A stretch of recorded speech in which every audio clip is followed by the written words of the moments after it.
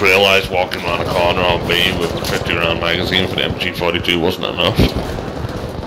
Yeah, they were like, let's put a Vickers K gun up here.